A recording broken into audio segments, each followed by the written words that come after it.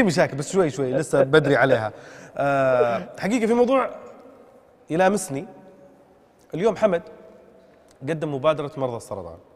طبعا جمهور الواقع واللي يتابعوني عبر مواقع التواصل الاجتماعي آه، يعرفون إن الوالدة في يوم من الأيام كانت مصابة بمرض السرطان. ومرض السرطان عندنا في العائلة منتشر بشكل كبير.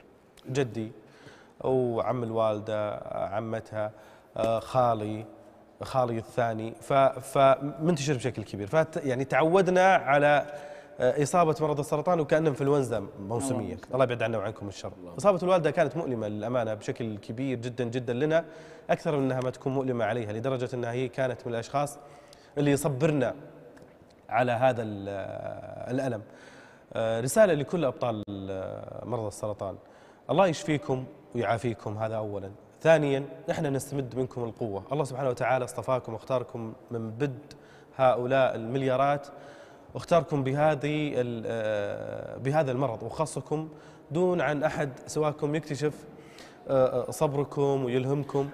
إن شاء الله آه، الأجر يعني يخونني التعبير لأنه أنا أعرف حجم المعاناة اللي هم جالسين يعيشونها ولكن ممكن من أبسط الأشياء اللي إحنا قاعدين نسويها إنه إحنا نذكركم نشد على أزركم ونقول لكم اهتموا بأنفسكم بصحتكم لأن على ما أعتقد على كلام الدكاترة والتجربة اللي مرت في الوالدة وفي الأقارب عندنا إن الجانب النفسي هو يشكل جزء كبير من شفائك بعد الله سبحانه وتعالى.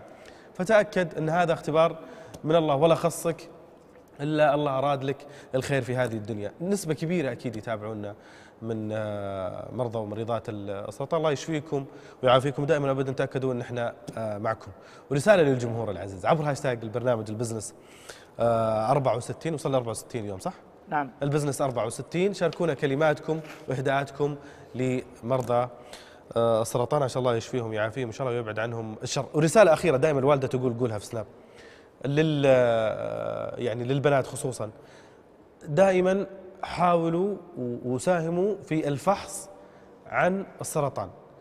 بعض الناس قد يكون عنده بعض التورمات ويخاف إنه يروح ويكون هو مصاب. ولكن إذا اكتشفت أنت من بدري فتأكد أنك قادر يعني تعالجه وتشافيه في في مرحلة أفضل ولا أنك أنت تتأخر وتخاف. فإن شاء الله حلقة اليوم كثير من الناس يتشجع ويروح يفحص وما شاء الله يشفيكم ويعافيكم آه، يا رب العالمين حمد وضاري معنا آه، أبو حزام كيف شفت هذه المبادرة؟ أنا المبادرات الإنسانية تاسرني بشكل كبير واليوم هي لامستني ولامست جرح يعني موجود عندنا في العائلة.